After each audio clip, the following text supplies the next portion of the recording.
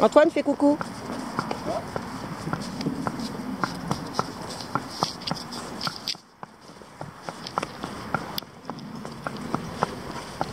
Là, là, là, pas dans l'herbe, j'ai dit tout à l'heure.